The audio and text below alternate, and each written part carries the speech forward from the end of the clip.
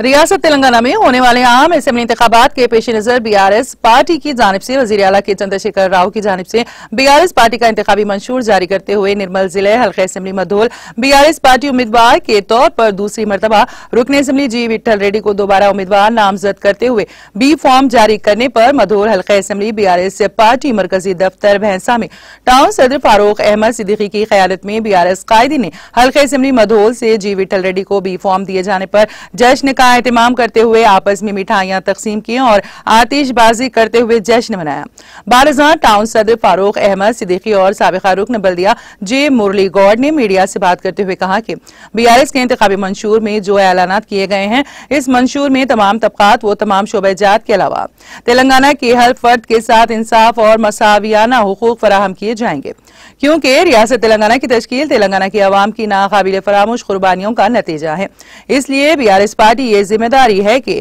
वो तेलंगाना के अवाम के तमाम हकूक अदा करने में कोई कसर बाकी नहीं रखेगी। इस मौके पर पी कृष्णा, सबका A M C chairman Syed Asif, सबका नायब सदर नशीन ए एम सी भैंसा, सैयद अली हाशमी, माइनॉरिटी सदर अब्दुल मजीद चौधरी, टोटा रामू के अलावा दीगर कायदीन और कारकुनान ने शिरकत की।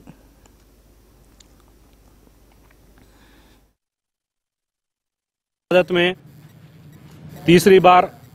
तेलंगाना में जो मैनिफेस्टो का ऐलान किया गया है, इस मैनिफेस्टो में रियासत तेलंगाना के हर तबके को, हर समाज के, हर लोगों को कवर करते हुए के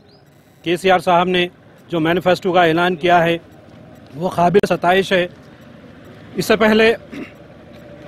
हमने नौ साल के सी आर साहब का इकतदार देखा। उनके इकतदार में हर तबका हर समाज, हर आदमी को जो स्कीमात पहुँचे, जो स्कीमात मिले, उससे सब लोग मुतमिन हैं। के सी आर साहब की हुक्मरानी में तेलंगाना रियासत, हिंदुस्तान के अंदर नंबर वन रियासत कहलाने जाने लगी है। उसी तरीके से आज जो मैनिफेस्टो का ऐलान किया गया है, जिसमें कल्याणा लक्ष्मी शादी मुबारक की स्कीम को एक लाख से बढ़ाकर दो लाख कर दिया गया है, करने का वादा किया गया है। उसी तरीके से रैतु बंधु को जहां दस हज़ार रुपये दो क्रॉप पे दिया जाता था अब सोलह हज़ार रुपये देने का ऐलान किया गया है उसी तरीके से आसरा पेंशन को दो हज़ार सोलह రాష్ట్ర ముఖ్యమంత్రి వర్యులు కేసీఆర్ గారు ఈ బీఆర్ఎస్ పార్టీ యొక్క మేనిఫెస్టో విడుదల చేయడం జరిగింది ఈ మేనిఫెస్టో పోయిన ఐదు సంవత్సరాల కింద ఉన్న మేనిఫెస్టో కంటే కూడా చాలా అద్భుతంగా ప్రజల లోపట ఈ దీని యొక్క